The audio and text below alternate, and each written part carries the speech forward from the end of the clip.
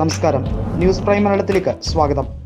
ഹാർദിക് പട്ടേൽ എന്ന ഗുജറാത്തിലെ കോൺഗ്രസിന്റെ വർക്കിംഗ് പ്രസിഡന്റ് പറഞ്ഞിരിക്കുന്ന രണ്ട് പ്രധാന കാര്യങ്ങൾ ഏതൊരു കോൺഗ്രസ്സുകാരനെയും ആവേശ പുളകിതനാക്കുന്ന ഒരു വിഷയം തന്നെയാണ്. താൻ മരിക്കുന്നത് വരെ കോൺഗ്രസ്സുകാരനായിരിക്കും എന്ന് ഉറപ്പിച്ചു പറയുന്ന തരത്തിലാണ് ഹാർദിക് പട്ടേൽ ഒരു പ്രസ്താവന ഇറക്കിയത്. അങ്ങനെ അപ്പോൾ കാണുന്ന പാർട്ടികളിലേക്ക് പോകാൻ തനിക്ക് താല്പര്യമില്ല. കോൺഗ്രസിനകത്ത് ഒരുപാട് പ്രശ്നങ്ങളുണ്ടെങ്കിൽ അത് തിരുത്തപ്പെടുക തന്നെ വേണം. നൂറ്റി എൺപത്തിരണ്ട് സീറ്റുകളുള്ള ഗുജറാത്തിൽ ഏറ്റവും കുറഞ്ഞത് നൂറ് സീറ്റെങ്കിലും പിടിച്ചെടുക്കേണ്ടത് കോൺഗ്രസിന്റെ ധാർമ്മിക ഉത്തരവാദിത്വമാണ്. കുറെ നാളുകളായി സംഘടനാ ദൗർബല്യം കൊണ്ടും വലിയ രീതിയിലുള്ള പടലപ്പിണക്കം കൊണ്ടും കോൺഗ്രസ് പ്രതിപക്ഷത്തിരിക്കേണ്ടി വരുന്നത് അവരുടെ അപജയം തന്നെയാണ്. പക്ഷേ അത് മാറണം. ഞാൻ ജനിച്ച നാൾ മുതൽ തന്നെ കോൺഗ്രസ് പ്രതിപക്ഷത്താകുന്ന രീതിയിലേക്കാണ് കുത്തഴിഞ്ഞ രീതിയിലാണ് പ്രവർത്തനങ്ങൾ. ഇതിനെ ഏകോപിപ്പിക്കണം. ഇരുപത്തെട്ട് വയസ്സുകാരന്റെ ഈ വാക്കുകൾക്ക് ബി വലിയ രീതിയിൽ തന്നെ മറുപടി പറയേണ്ട സാഹചര്യം വന്നിരിക്കുകയാണ്. പക്ഷേ ബി ജെ പിക്ക് അറിയാം ഹാർദിക് പട്ടേൽ അത്ര നിസ്സാരക്കാരനല്ല.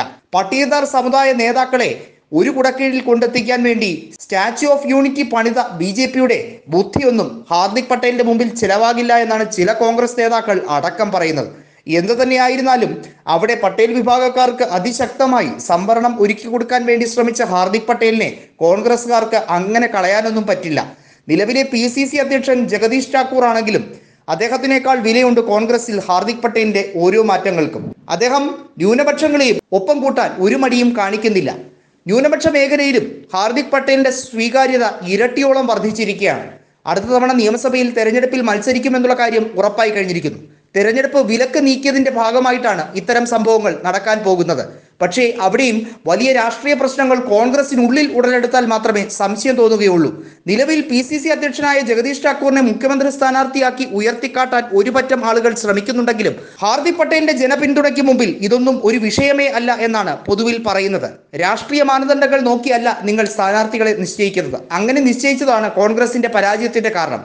പ്രായം ഒരു ഘടകമല്ല.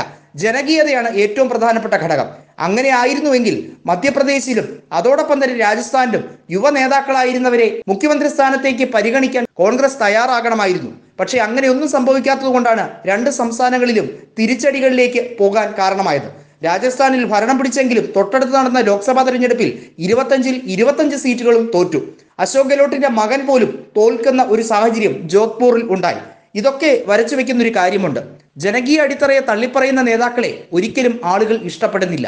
അതിന് കൃത്യമായ ഉദാഹരണ സഹിതം ഓരോരുത്തരും തെരഞ്ഞെടുപ്പിലൂടെയാണ് മറുപടി പറയുന്നത്. തെരഞ്ഞെടുപ്പ് ജനങ്ങളുടെ പരീക്ഷ തന്നെയാണ്. ആ പരീക്ഷയിൽ ജയിക്കുക എന്നുള്ളത് അസാമാന്യ കഴിവ് തന്നെയാണ്.